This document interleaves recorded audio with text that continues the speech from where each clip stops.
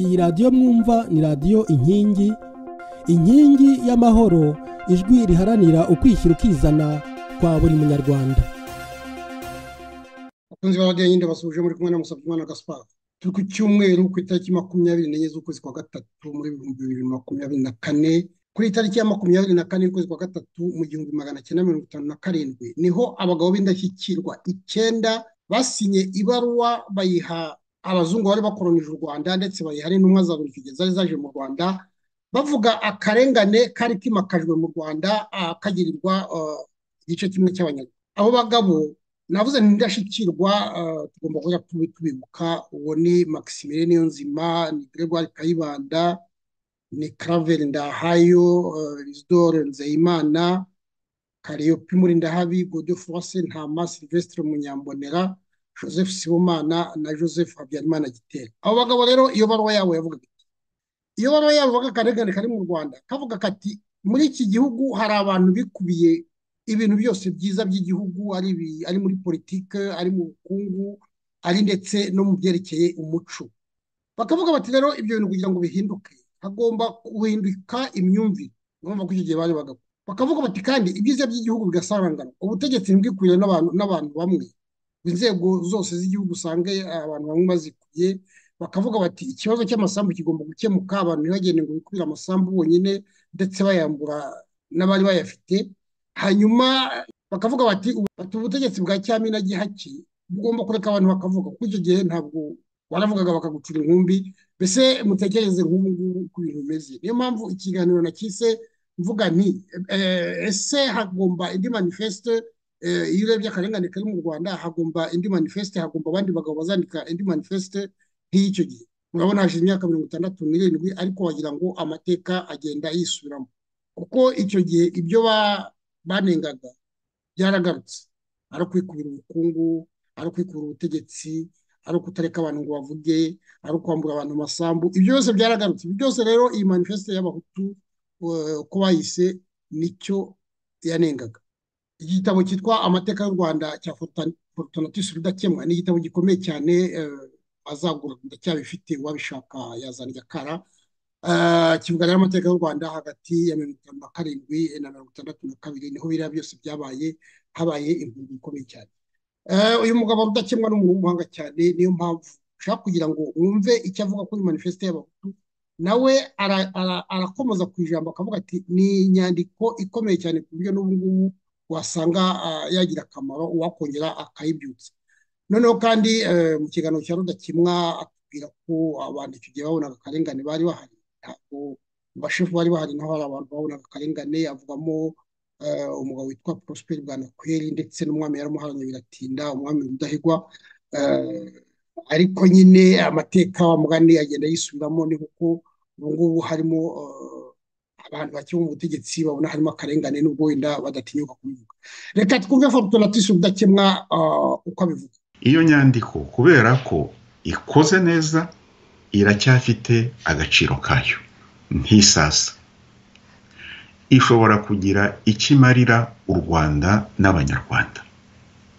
Nicyo gituma bwana gaspari nshimishijwe n'uko ugize uti tuyiganireho. Manifeste si ijambo ry'igifaransa. Nako si ijambo ry'ikinyarwanda ni ijambo ry'igifaransa. Buri wese ashobora kumfasha kurihindura mu kinyarwanda kugira ngo abatwumva n'abazatwumva baryumve. Manifeste navuga nti ni imigabo n'imigambi. Akenshi dukunze kubyumva ku mashyaka. Manifeste ya mrnd manifeste ya inari manifeste ya nabyita imigabo n'imigambi. Ikigamijwe. Manifeste y'abahutu rero. Iyo nyandiko isohoka ntabwo yitwaga manifeste y'abahutu. Yitwaga note sur l'aspect racial des problèmes du rwanda. Ni ukuvuga ngo ibirebana n'amoko mu bibazo by'u rwanda. Ibirebana n'amoko mu bibazo by'u rwanda. Ni uko byitwaga ababyise manifeste ni abanyamakuru. Ariko inyito y'umwimerere titire originale ntabwo yari iyo ngiyo. Gufata iyo nyandiko. Uko yakabaye yo yonyine tukagira tuti tuyiganireho. Kwaba ari ugusamira ibintu hejuru nk'isandi ubanza ariko mu kinyarwanda bavuga kandi muri iyi minsi koko abanyarwanda abafite imbuga nkoranyambaga abanyamakuru n'abandi ntavuze hari iryo kosa bafite ryo gusamira ibintu hejuru. Ntibigire icyo bigeraho kubera ko biba byasamiwe hejuru. Kuganira kuri iyo nyandiko yonyine ntibihagije. Hari inyandiko zayibanjirije. Zatumye yandikwa. Kugira ngo abantu baganire neza kuri manifeste yabo y'abahutu bagomba guhera kuri izo nyandiko. Mu by'ukuri imizi y'iyi nyandiko imigambi n'imigabo y'abahutu manifeste yabo iyo mizi wayisanga nibura ugahera muri mirongo itanu na kabiri. Ushobora no kujya mbere yaho ariko kugira ngo ushobora guterura uhereye muri mirongo itanu na kabiri.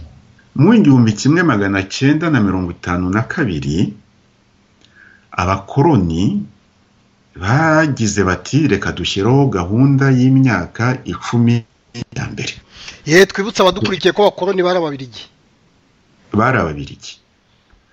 Ubwo rero mu gifaransa icyo bifuzaga ni plan decenal de development gahunda y'imyaka icumi y'amajyambere.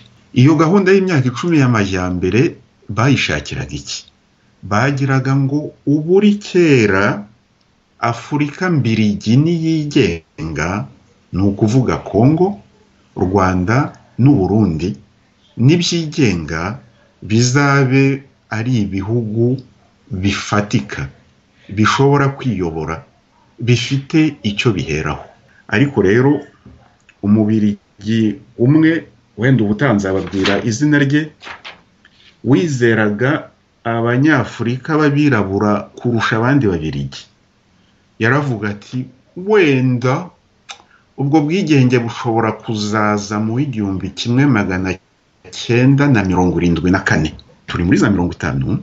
Undi nawe van bilson mu w'igihumbi kimwe magana cyenda na mirongo itanu na gatandatu yaravugaga ati bo bashobora kuzigenga mu w'igihumbi kimwe magana cyenda na mirongo inani na gatandatu. Ni ukuvuga mu myaka mirongo itatu. Ariko uwo mugambi w'imyaka icumi y'amajyambere ari ukugira ngo bategure buhoro buhoro iyo ntego. Kandi ni umuryango w'abibumbye onu wabibasabaga ubwo rero abakoroni b'ababirigi batangiye kugisha inama ibyiciro by'abantu. Ingoma ya cyami na gihake bafatanyaga kuyobora u rwanda bakagisha inama abayigize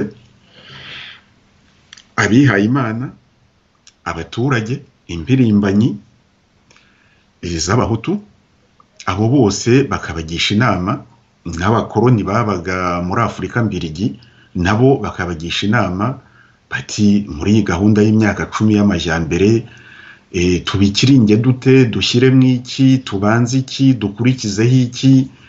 Mbega dukore umushinga ufatika. Ubwo rero abahutu bize babwiye abakoroni b'ababirigi kubaka imihanda ni byiza ibihingwa ni byiza kubaka amazu ni byiza ariko iyo gahunda y'imyaka icumi y'amajyambere ihere ku gutsiratsiza burundu akarengane kari muri iki gihugu. Iyo niyo ntambwe ya mbere. Iyo ntambwe ibuze ibindi byose muzaba muri kubakira ku musenyi.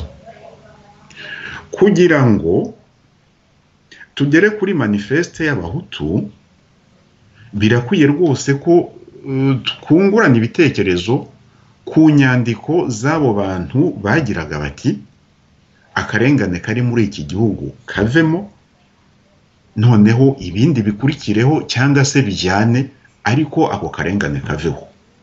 Kandi ibyo ntabwo byari mu rwanda gusa hari muri afurika mbirigi yose. Afurika mbirigi ni kongo u rwanda n'uburundi. Ariko ariko padiri muri ibyo bihugu padiri udakemwa muri ibyo bihugu ntabwo hari harimo ubuhake nk'ubwari mu rwanda. Ngira ngo akarengane kenshi kari mu rwanda icyo gihe ahari. Akarengane kenshi kari mu rwanda.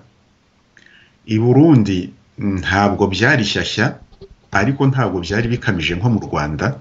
Mu rwanda ni ho byari bikabije ariko muri congo naho bashakaga kwibohora.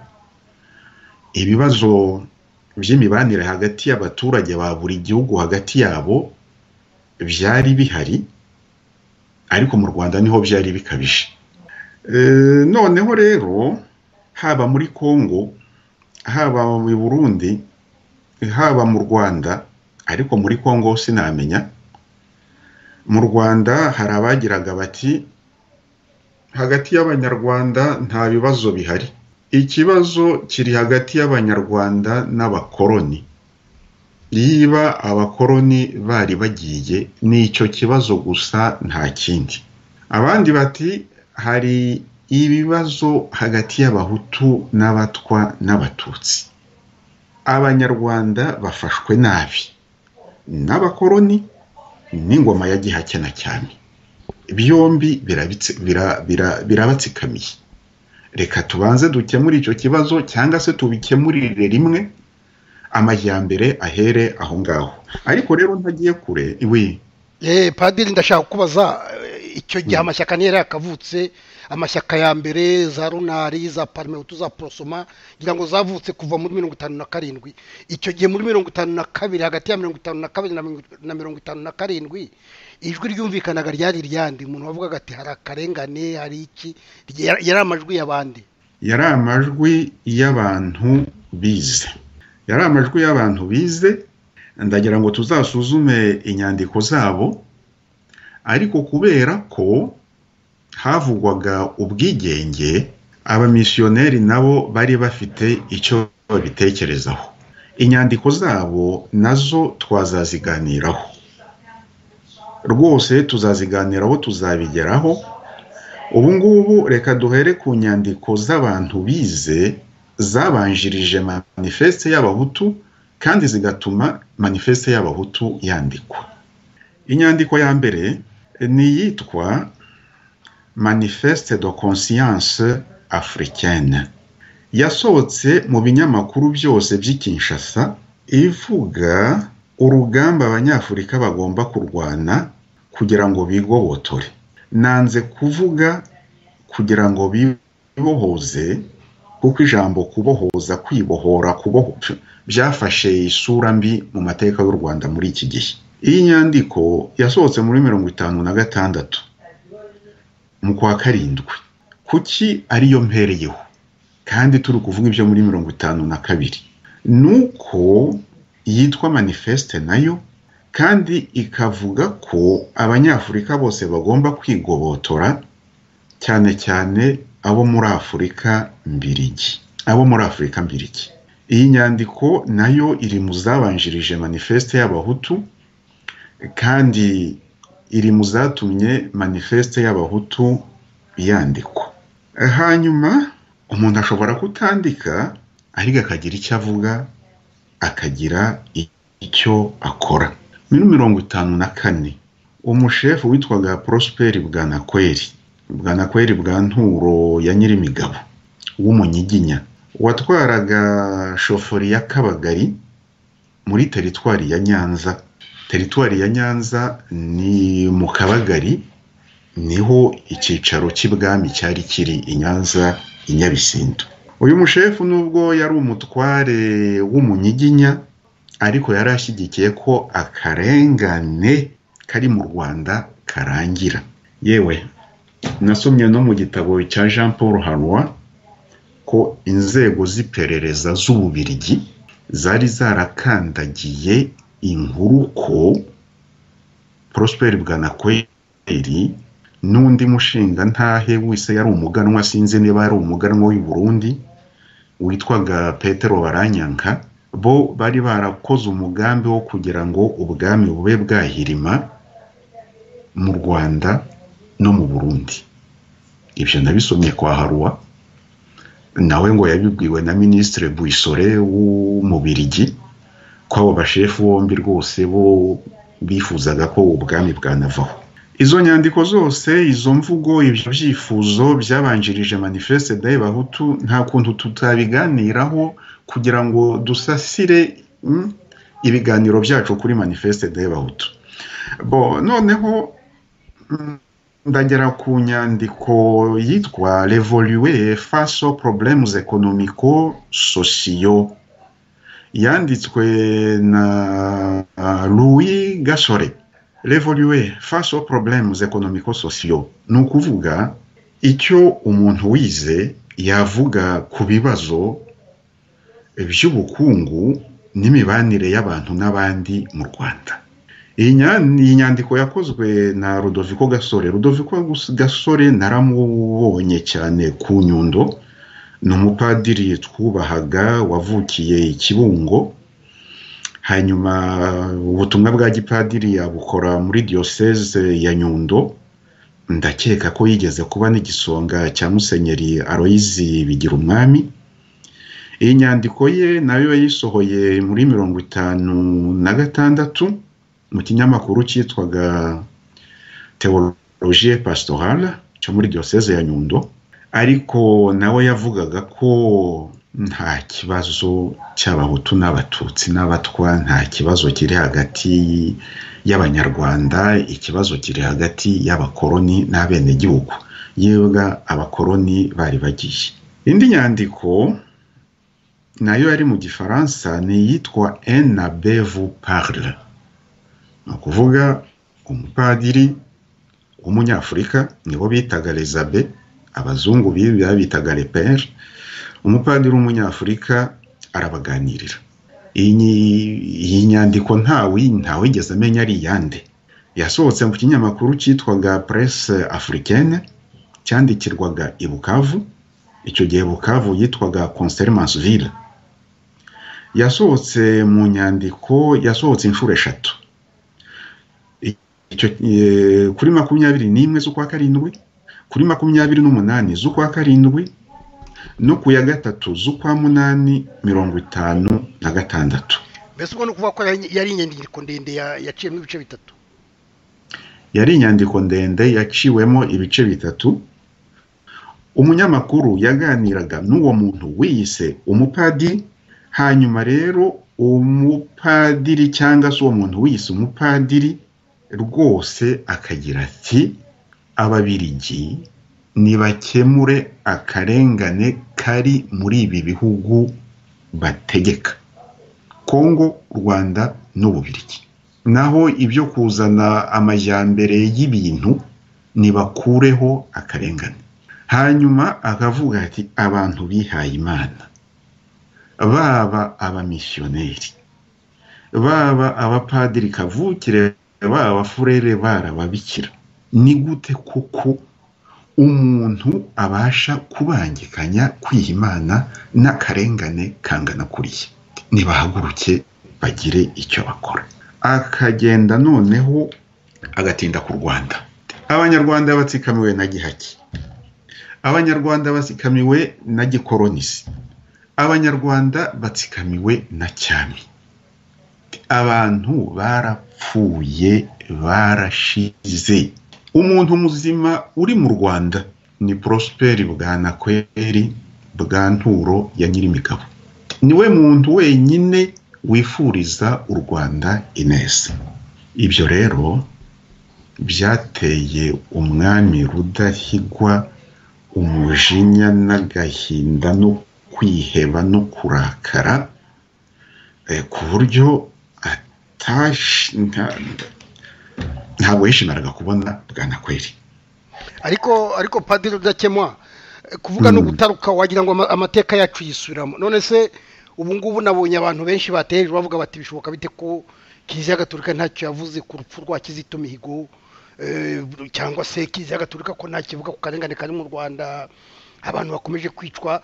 Sinzi umuntu yabigereranya wenda na byo tuzabigeraho mu kiganiro tugerageza kugereranya ariko urumva ko bisa n'ibyatangiye burya amateka asa n'agenda yisubiramo. Amateka atwigisha ibyahise ibya kera kugira ngo twumve iby'ubu ariko rero agomba no gutuma dutegura iby'ejo hazaza.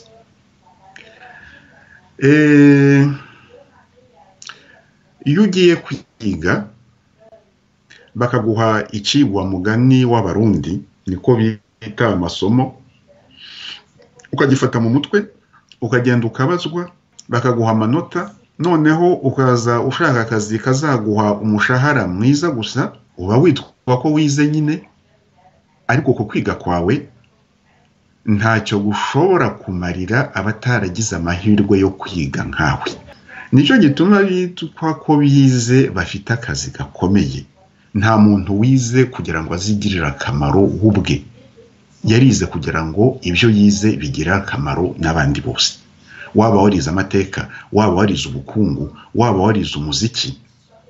Uwo muntu wiyise umupadiri rero yashimaga bwanakweri akagaya ubundi buyobozi bw'u rwanda kubera ko bucura abanyarwanda bufuni na buhoro. Bwanakweri uwo nguwo muri mirongo itanu na kane niba ntibeshya yari yaravuze mu nama nkuru y'igihugu yari yaratinyutse kubivuga rwose abibwira n'umwami rudahigwa ati ibintu ntabwo bishobora gukomeza gutya. Ntibishobora gukomeza gutya bigombe bihinduke.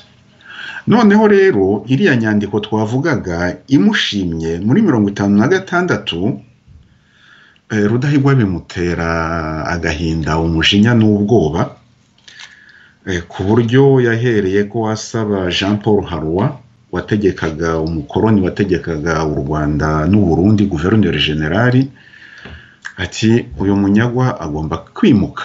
Yategekaga akabagari karimo icyicaro cy'ibwami i nyanza bamwohereza muri teritwari ya kibuye.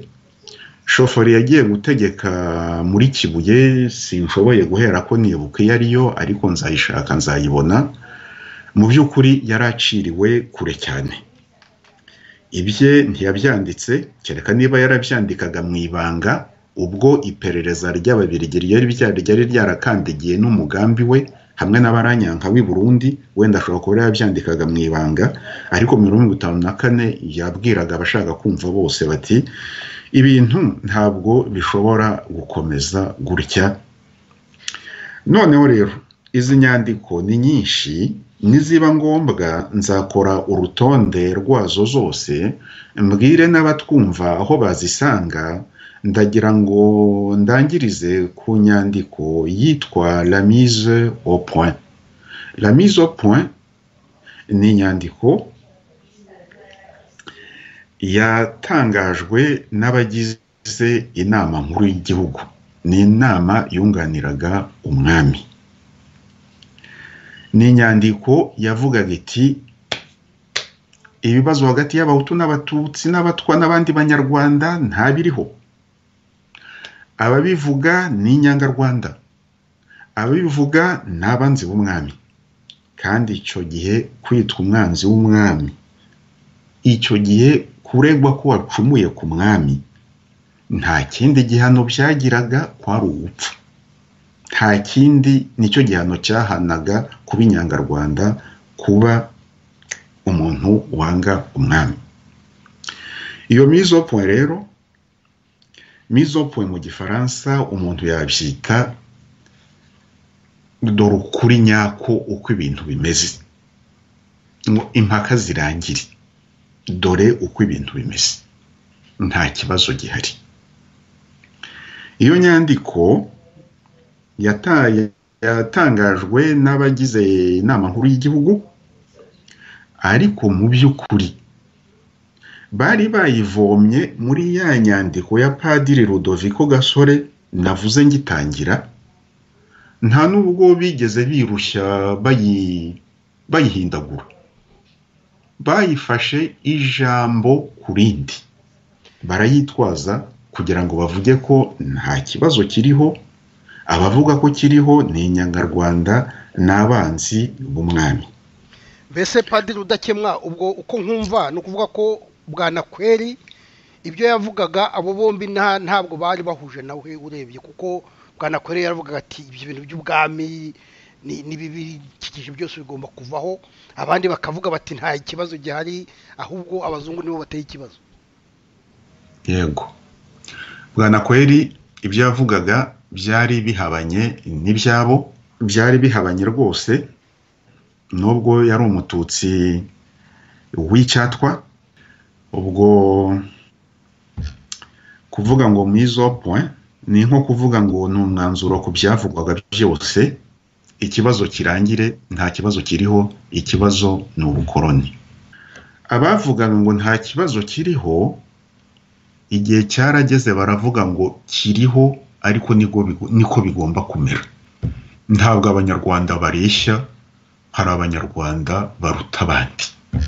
Niko imana ibishaka 嗯，他那就管不归印度了。